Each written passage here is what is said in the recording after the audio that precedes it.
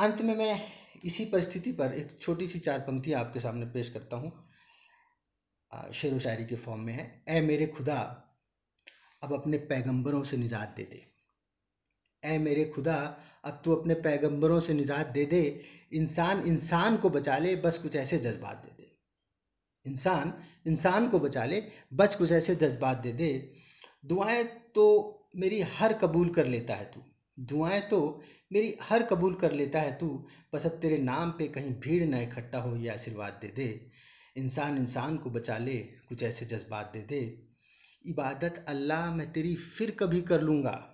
इबादत अल्लाह मैं तेरी फिर कभी कर लूँगा। बस खुदा मेरे शहर को अब वही पुराने हालात दे दे। बस मेरे खुदा मेरे शहर को वही पुराने वाले हालात दे दे। इंसान इंसान को बचा ले, कुछ ऐसे जज्बात दे दे।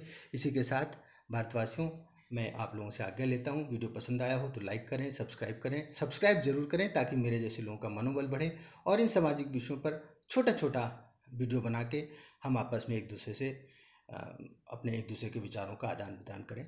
जय हिंद जय हिंद।